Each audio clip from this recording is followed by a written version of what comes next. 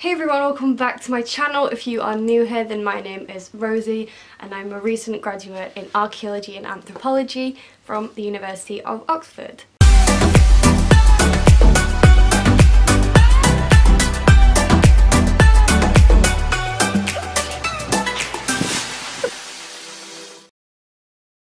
Before getting to uni, I read books such as this one and also From Lucy to Language by Donald Johanson. I had also done sociology, so I'd read stuff about Malinowski, Durkheim, and a lot of the early archaeological theories link very much with these. I have decided to come up with my top 10 book recommendations of things to read before uni or just if you're interested in archaeology and these span from kind of very area specific books to human evolution and about colonialism. They're very very varied. Perhaps not in the author diversity side of things because unfortunately all of the like baseline archaeology texts are predominantly written by white men this is changing and the reading lists at uni are developing far too slowly if anything but they are developing and I am going to bring out another video where I talk about different anthropology books. There will be a whole section on anthropology books written by women and people of colour which perhaps aren't on kind of these baseline starting university reading lists. Now depending on your syllabus these books might not be on your pre-reading list and also might not be directly useful. However, any form of reading around the subject, getting used to the language, getting used to like different time periods is going to be helpful. So yeah, hopefully this is quite general and will help you out. The first book on my list, number one, I actually have right here, and that is Renfrew and Bahn's Archaeology. Now, this one is not it's not a text that you want to be citing in an exam. However, it is very good for the terminology and just kind of getting to know the basics of the subject, the history of the subject. So it has a really good glossary which explains all of the key terms. It also has a lot of like diagrams in it and as you can see from all of the highlighting. I did use it as like a last minute revision tool. It is great if you have an essay or assignment or just an area that you're not really too sure that you understand. It will simplify it for you and it might then give you means to reference other people that whose whose work that you can find based on the names that are written in here. So this, for example, I've highlighted the word Braidwood. I don't think it's going to focus. I then looked up who Braidwood was and you can find more comprehensive sources through books like this. So yeah, I would recommend. And this is on most people's university pre-reading lists, like the official reading list. So that is why it's my number one. Book number two I do not actually have but I have read kind of online and from the library is Steven Mithen's Prehistory of the Mind. This was released in 1996 and there might be newer versions of it but that's the original version. It's, it's more of a paleoanthropology book. It's about kind of the psychology and the biology behind human evolution. Steven Mithen is an interesting character um, his books play to an audience, so I would take them with a pinch of salt. He's very interesting and his books are great to read, but I personally feel like that is actually a downside because quite often it does dumb down theories a little bit and he's a little bit he romanticizes things like one of his other books is called singing neanderthals and it's just, it's like an exaggeration, uh, romanticized version of prehistory. However, this particular one is very interesting and is actually quite comprehensive and is also on a lot of university reading lists, so I would recommend that one.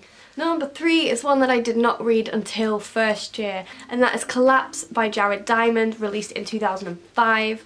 There is also a response to this called Questioning Collapse, which is by Yoffee, released in 2009 and if I were you I would pair them because quite often if you read someone's response then you actually get a more rounded view of what they're trying to say and you might actually understand what the original person is trying to say more if you read the response. Now Collapse is good because it covers lots of different societies, particularly the Maya, and it talks about, I think it's a five point framework if I can remember rightly, of reasons for why societies might have collapsed, why civilizations might have collapsed, and there's a lot of good definitions in there. Again, you can take it with a pinch of salt. It is a good book and it was a big source for a large section of our work in my first year. It came up on the exam. So yeah, I'd recommend that one. Book number four is my absolute favourite book from just the general topic. It This is old, it hasn't got the cover on anymore, but it is From Lucy to Language by Donald Johanson and Blake Edgar. And why I like this book is because I don't feel like it dumbs stuff down. Donald Johanson was one of the archaeologists, paleoanthropologists who found the Lucy skeleton and now Lucy is an Australopithecus afarensis. She's about 3.2 million years old, just over a metre high and they think she is a female Australopithecus. However, it is it's a little bit touchy to just automatically assume she's a female because she's not fully there this book is particularly exciting because it has pictures in the back. So it's just full of pictures. Ah! It's full of pictures. All the pictures in the back show you kind of all the different all the different stone tool types which match to which um, ancient hominids and also then the hominins that go with that. It, as well as that, also has all the things about like out of Africa. It labels the schools for you, which is really useful and I've had to attempt to learn during my degree. Yeah, would really, really recommend that one. Great. It's got so many pictures in it. Now number five is not on any of the recommended reading lists that I could find and I don't know if anyone would actually recommend it. Again, take this one with a pinch of salt because a lot of people disagree with him, but it's a very interesting and quite complex subject and that is Chris Tilley's 2005 A Phenomenology of the Landscape. Now phenomenology comes from philosophy and it is essentially the feelings of a landscape, the sound, the sounds, the smells, the sights, the thoughts, but it's mostly trying to get past the visual in archaeology. So it's a theory put forward to suggest that we should be thinking about landscapes in context only and the thoughts and the feelings of those who created those monuments in the landscape for example and what that might tell us about the site and situation and the reasons for and the life of the person as opposed to simply looking at the concrete evidence of what's there. And of course that is problematic, but it is a really thought-provoking article. I think what's more thought-provoking is the responses to it, which try and link it to GIS, which is attempting to link the qualitative uh, aspects of phenomenology with the quantitative aspects of archaeological science and geographic positioning systems. Some really good responses to this include Gillings, I don't know what year that was in, 2012, Gillings 2012 is a really good response. There's another one, Fleming 1999 is another critique of Tilley. There's a lot of things, if you google phenomenology and archaeology, so many things will come up. A lot of them are on Google Scholar and are free to read kind of on Google Books. Number six is The Human Past by Scarre. This is a 2005 book and essentially sums up the entirety of the human past in one book. Um, of course that means it doesn't go into great detail, but it does sum things up. There's a really good website actually and the address for that is www.norton.com forward slash college forward slash archaeology forward slash human past. It has a like synopsis, summary and also quizzes and flashcards which are very helpful and I've only found since planning this video and wish I found during my degree. but you're welcome. Okay, number seven is particularly useful if you are doing archaeology and anthropology and that is Gosden's Archaeology and Anthropology. this book was published in 1999 and you know it just it sums up why the two subjects should be read together and kind of sums up both the two and well yeah how they link. This one is definitely recommended by Oxford. And number eight is by our friend Diamond. Again, this one is a different topic. It's called Guns, Germs and Steel. It's essentially about why my explanation of this book was absolutely terrible and made no sense. So I have just found the one off Google. That is it on the screen now. Despite being recommended to read this book at about seven different points during my degree, I never got round to it. So that's why I couldn't explain it very well. Please do not make the same mistake as me. Okay, number nine is a paleoanthropology book and that is Homo Britannicus by Stringer. Stringer is someone that you will read a lot of during your archaeology degree, particularly if you have paleoanthropology modules.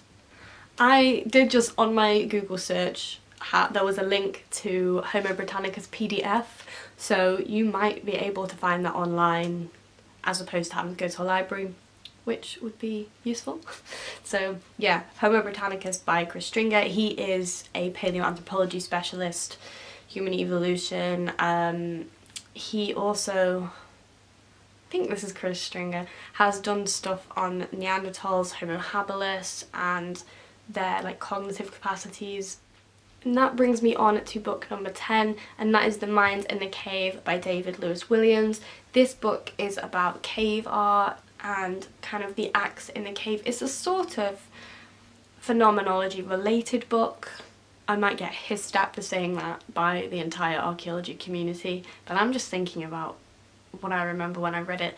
It was about um, like the effects of hallucinogens on possible early artwork and whether actually early artwork might be to do with that whether different types of scratchings and circles and shapes were specific to hallucinogens and yeah, it's very interesting.